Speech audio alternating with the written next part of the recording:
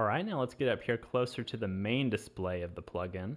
Uh, up here we have various envelopes that we can manipulate. Uh, let's start by talking about the one that pops up in the very beginning when you open this up, the volume envelope.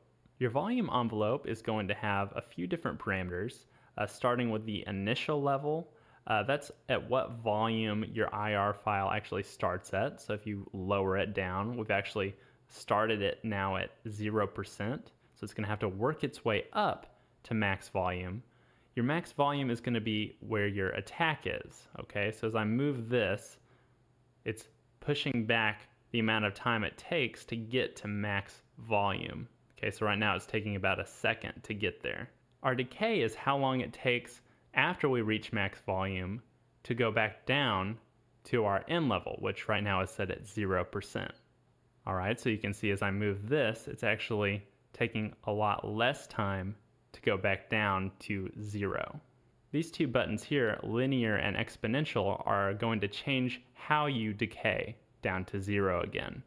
Linear is going to be a lot more artificial sounding uh, because that's usually not how things work in a realistic room. Your reverb volume is not just going to decay to zero at a one to one rate.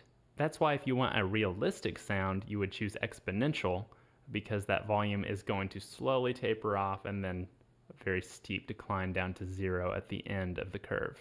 Let's mess around with some of these and see how it affects our reverb.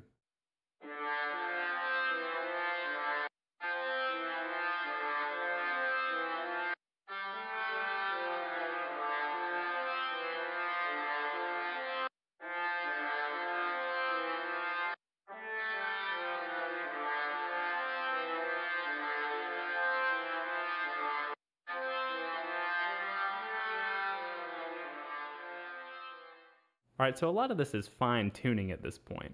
Uh, but if the IR file itself, uh, as it comes, isn't to your liking, you can really sculpt into it with these parameters and create the exact kind of space that you want.